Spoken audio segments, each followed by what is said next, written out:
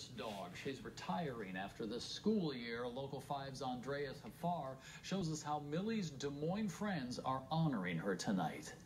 If you've roamed the halls of Cowles Montessori Elementary, then you've surely seen one of its most familiar faces.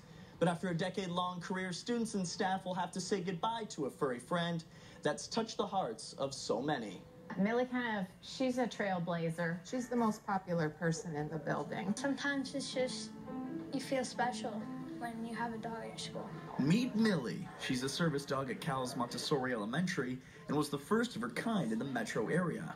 There weren't any other therapy dogs. I went to my principal, Al Burrows, and said, I know animals and I know kids, and there's something going on here. And he was like, let's go for it. Counselor and Dean of Students Tracy Lepetak and Millie have been a team for 10 years now.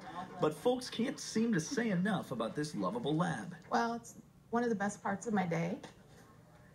But I give her treats, and when I'm gone, I uh, leave notes for the sub and the treats out for Millie. I used to be really scared of dogs, but it kind she is so mellow and well trained that it kind of was just so much different. It's almost like she's a human. I could be in the middle of a lesson, and if Millie walks in, the lesson stops because they have to acknowledge Millie. But Millie isn't just a pretty face. She's also instrumental in providing care for students and staff alike. She does a better job at solving conflict than most adults do. Everybody will say to me, this child calmed down so much faster because Millie was there. But like everyone, time gets the best of us all. While it's a big gap to fill, both Millie and Lepetak will soon retire. Millie and I, I think, are going to have a lot of time sleeping in.